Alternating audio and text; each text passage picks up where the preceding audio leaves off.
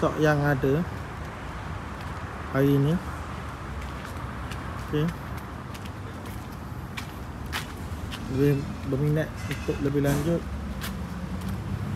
boleh. Dia kata 2 biji ya.